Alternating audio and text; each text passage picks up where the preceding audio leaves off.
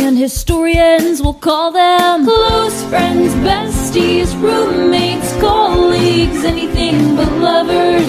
History hates lovers, sidekicks, family, good pals, buddies, anything but lovers. History hates lovers.